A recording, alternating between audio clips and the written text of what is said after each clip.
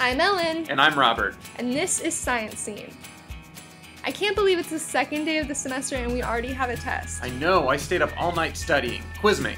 Okay, what blood type is the universal donor? Universal donor, I know this. Um, uh, bad blood.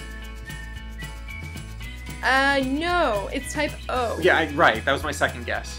Okay, how many chromosomes does a human have? Um, I don't know exactly. I'm feeling, I'm feeling 22.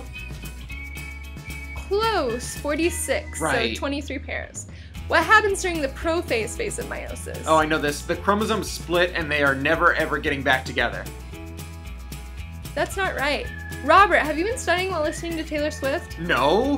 What? I don't, I don't listen to that stuff. Well, maybe now and then when it, when it comes up on shuffle.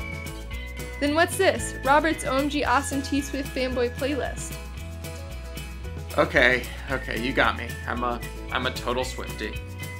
Well, it's okay to love T Swift. Her songs are really catchy. And they really speak to me. Uh huh. But you shouldn't listen to them while you study. Why not? You can find out in this week's Science Scene, part of the Life and Art section of your Daily Texan.